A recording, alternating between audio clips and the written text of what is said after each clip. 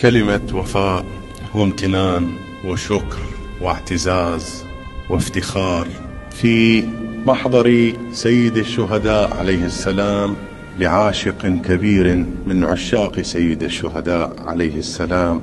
له فضل علي شخصيا كفضل الأب على ابنه وهو أيضا من خدمة الحسين عليه السلام. ألا وهو سيدنا المجاهد الكبير الشهيد. الكبير القائد المقاوم السيد محسن شكر كما يعرفه الجميع وفؤاد شكر كما عرفوه مؤخرا.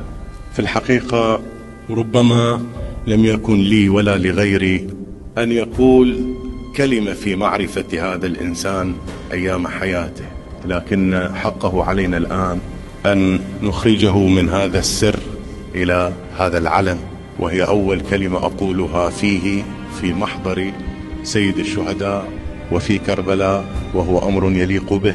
أرجوكم أرجوكم أن لا تنسوه من صالح الدعاء. أرجوكم أن تزوروا عنه ولو سلاما.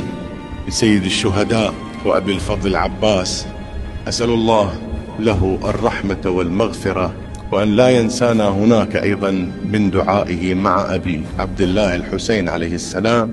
نقرأ له جميعا سورة الفاتحة.